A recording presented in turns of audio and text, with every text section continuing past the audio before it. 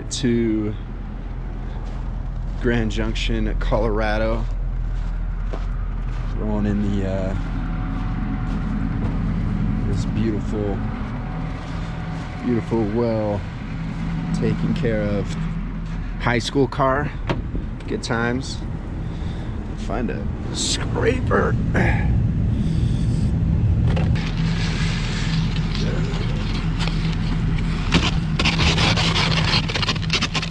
Actually not too bad. Side window here. The old, uh, the old high school whip. Actually, not my, uh, not my car, but my brother and my sister's. So I'm back in Grand Junction, Colorado. Uh, Grand Junction, Colorado is where I grew up. Fun to be back. I had to come back to see the old man and get a medical medical excuse me motorcycle endorsement on my license. And I was able to get that new picture with the mustache. So that was a win-win for myself and for America. You see now I live in Orange County California.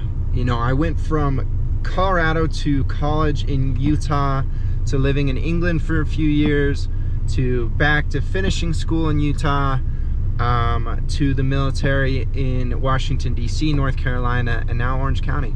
So it's been a crazy eight years since I graduated high school in 19, not 1993, that was when I was born, in 2011. But it's been a good time. And uh, yeah, you know, I've, I love YouTube. I love YouTube and I've always wanted to make videos and I never have. So I'm gonna start doing that.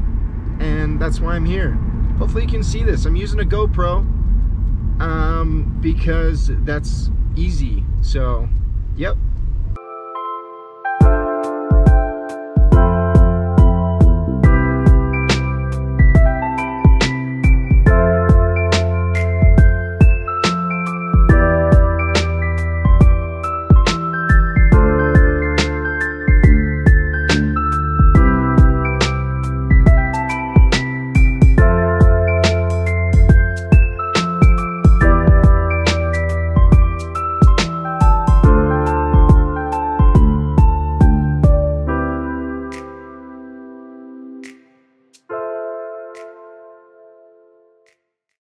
going to uh, Crested Butte or Vail.